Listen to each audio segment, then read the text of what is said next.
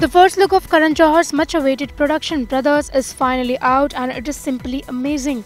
The first look poster shows Akshay Kumar and Sidharth Malhotra along with actor Jackie Shroff and they seem to have nailed it in their aggressive and rough avatar.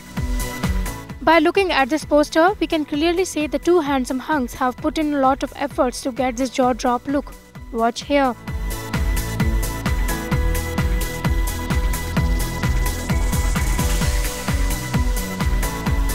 Brothers is an official Hindi adaptation of Hollywood film Warriors and it tells the story of two strange brothers and also features actress Jacqueline Fernandez. IANS report.